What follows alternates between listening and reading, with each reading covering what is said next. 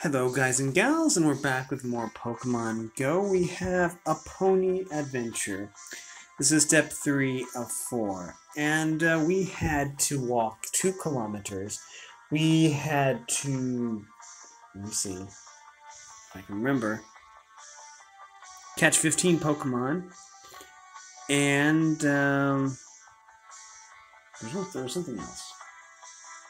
We had to spin five Pokemon or a gym photo discs. So, anyways, we're going to claim this. We're going to claim these Pokeballs first. Great balls, rather. And now we're going to see what these encounters are. My guess is water types, I guess. I don't know. Because Tapu Fini is a water type, so Oh, it's Miltank. Yeah, I guess that's one. Miltank's still cool. A nice counterpart to Tauros. Considering they're in different gens, that's still pretty cool. Again, Johto and Kanto are like linked or really close. Um, since second generation had both Johto and Kanto, I think. So let's see what we got here.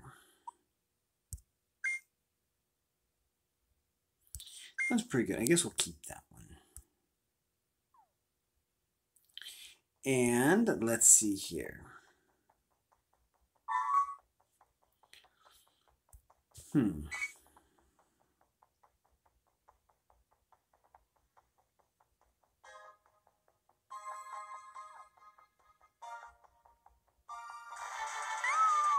Stufful. Well, Stufful's cool. Sounds like a kitty. I don't know why I'm using that particular berry, but okay. Oh, that was a terrible throw. Oh. Nice throw.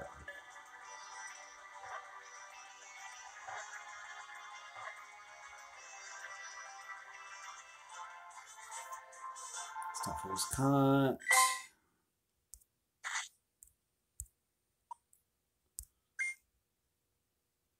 That's almost perfect. We're going to keep that. Okay, now let's see. We have something else to claim here. And let's see what it is. Okay, looks like we get... We get... Premium Battle Pass, 1000 Stardust, and 1000 Experience. Phew, welcome back, Adequine. How do you fare? You saw Tapu Fini as well? That's fantastic. Now you've seen all four of Alola's guardian deities, and I've seen all of one. That's, well, it's one more than I'd seen before, isn't it?